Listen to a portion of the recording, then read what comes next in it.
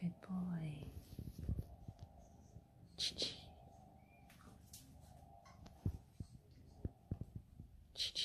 Good boy. Very, very good. His eyes are, are also quite often on her. So I'm, I'm marking him when he takes his eyes off her. Good boy. As much as when he, um, oh, where did that one go, lovely? What have I done with it? It's the wrong colour for the floor.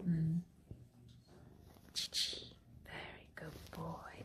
And the thing that I'm doing is I'm making very, very sure that I don't throw the treats too close to me. So in no way am I trying to tempt him over. Clever boy. I have been gradually um, mixing it up, so I quite often throw them so he's got some exercise and he's Yes, a good searching. idea. But also, I do sometimes throw them closer to me because he's frightened of my feet because he's, he's frightened he's going Ah, to be kicked. be, yeah. And I want him Good not to be frightened boy. of my feet. I'm just, you are going on Facebook. I think everybody needs to know what I'm having to deal with here. Monkey. Good boy. Oh, sorry, Poppet. I was trying to drop that right between your paws, but my throat not so good when I've got a cat on my lap.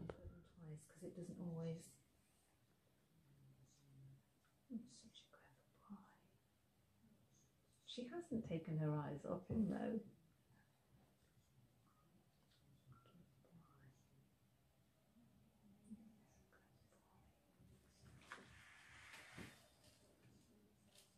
Mean, his eyes, his eyes aren't as soft as I would like. But I am surprised that he's chosen to get as close as this.